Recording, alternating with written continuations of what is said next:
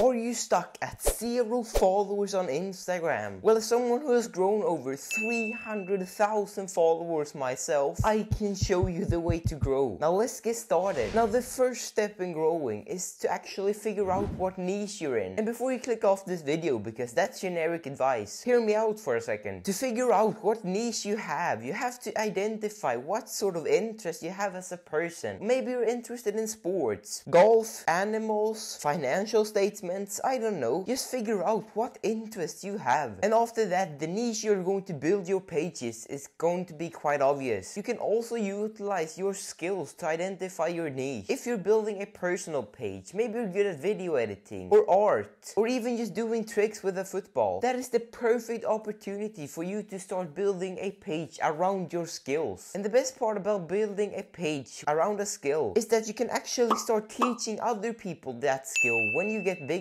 And that kind of moves us on to our next thing. How profitable is your niche? Some niches like the luxury niche, the wealth niche, the fashion niche, and the traveling niche are extremely profitable on Instagram. While other niches like memes aren't as profitable. You also have to identify how you're going to provide value to your target audience. And by value, I don't just mean educating your audience. There can be a lot of different ways you can provide value. If you're a meme page, for example, you can provide that value through laughter and enjoyment. And the same thing is true if you're building a sports page or an animal page. Those are niches that mainly rely upon entertainment as the main value source. While on the other hand, spaces like the financial niche mainly rely upon education as the main value source. Whichever one of these value points you focus on doesn't matter. Just figure out what way you're going to provide value to your target audience. Now the second thing you should do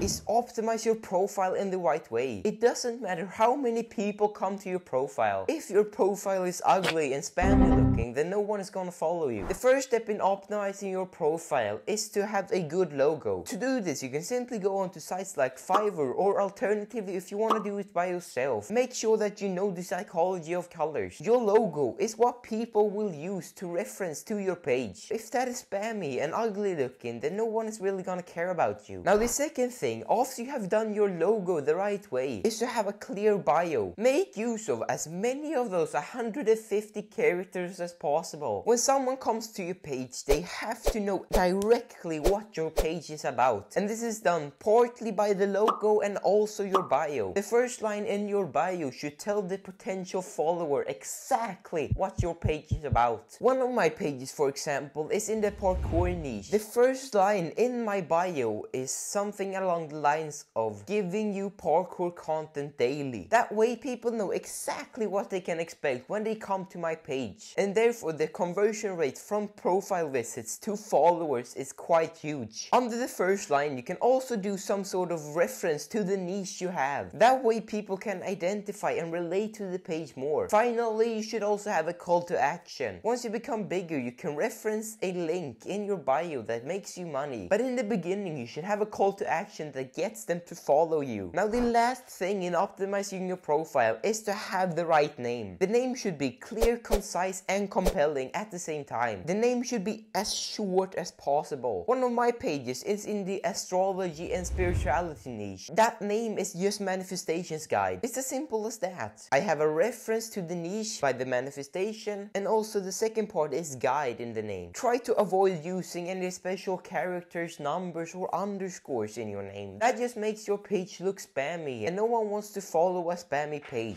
Now, finally, how do you actually grow this page? Well, the first step in growing is always to drive traffic to your page. If no one is visiting, then you can't grow. To drive traffic to your page in the beginning, especially if you're starting from zero, you can start to engage with similar pages in your niche. Be one of the first comments on the big pages. Interact with people that follow the pages in your niche. Build trust in the niche and get people to recognize you. Utilize the dollar $80 strategy. I don't know. Just focus on building as much trust and recognition around your page as possible. And that's why I talked about optimization in the beginning. Now, another common way to drive traffic to your page is by making use of the follow for follow method. Now, before you click off, please hear me out for a second. The follow for follow method is a frowned upon strategy in the IG community. Some people hate it or some people love love it. I'm one of the people that love it. The follow for follow method might not bring you any crazy high valuable followers, but that's not really the point for follow for follow methods either. The point of the follow for follow method is simply just to get your page off the ground. Once you reach 3 to 5,000 followers on your page, you might get 3 to 500 likes on your posts. That's enough data for the Instagram algorithm to actually recognize your page and also start to push your content in the explore page and on hashtags. So really, the initial followers that you gain from the follow for follow method is just a way for you to get your page on the explore page where you will actually be getting the real followers. Now the last strategy you can use when driving traffic is simply to do collaborations.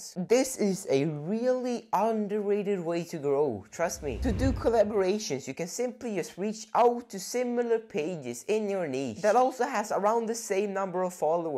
Preferably they're also a bit larger than yourself. Simply just write something along the lines of, hey, would you be interested in a collaboration? I think it could benefit us both. You will actually be surprised of how many people in the niche would respond with something like, why not? You see, the point of collaborations is not to drive enormous amounts of traffic to your page. It's simply to leverage the other page's existing audience so that you can use it for yourself as well. Say that you're sitting at a thousand followers yourself and you get a collaboration going with five other pages at 1000 followers. One collaboration post a week, that basically means that you're getting your content out there to five times your own audience. So don't look down upon collaborations. Now lastly, when you're done driving traffic to your page and growing in that initial phase, once you reach 3 to 5000 followers, it's time for the explore page to go viral, to get followers and reach fame. Now the most important thing to note here in this phase is to get your content straight. Utilize the Instagram analytics to identify the content that serves you the best. Try to identify the content that gets you the most reach. To do this, go onto your page's analytics and sort the posts by most reach. There you will have a list of the best performing posts in a specific time period. Try to figure out what all of these posts have in common. Maybe post where a face is shown is performing better than one is not. Figure out as many details as possible and your growth after that will be quite huge. Just like the growth on this video if you click the like button. Also, a hidden trick that many people don't use is to use locations and hashtags to target the right people. If you want to target primarily people in the United States, you can set your post location to the United States or some city in the United States. That will then get the Instagram algorithm to push your content in that region. Now lastly, consistency. It doesn't matter whether you have 1, 5,